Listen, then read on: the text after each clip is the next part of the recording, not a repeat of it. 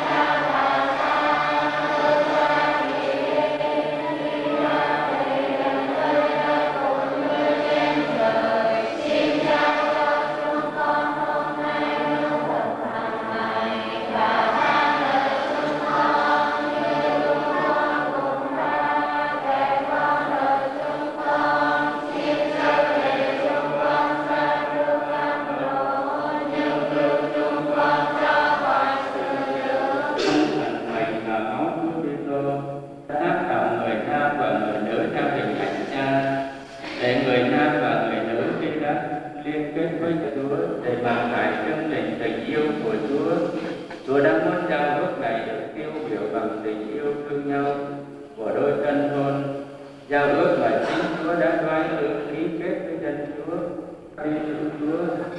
Chúng con phải tin Chúa nói cùng Chúa nhờ việc cử hành bí tích hôn nhân này xin cho họ biết trao đổi cho nhau ơn tình yêu của Chúa và khi họ minh chứng cho nhau dấu chỉ xin cũng cho họ biết dùng việc làm mà nâng đỡ gia đình họ gây dựng và chuẩn bị cho con cái họ sau khi đã được giáo huấn cẩm đạo lý của thân thì được đón nhận hạnh phúc làm chủ làm vợ và làm mẹ.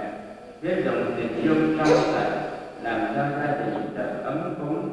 Và biết dùng sự hiền hòa hạ tôi tới Chúa đây.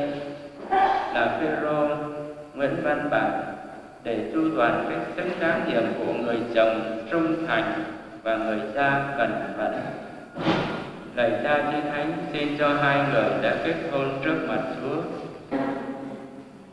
Lạy Chúa Giêsu Kitô, Chúa đã nói với các công đồ rằng Thầy để lại bình an cho các con, Thầy ban bình an cho Thầy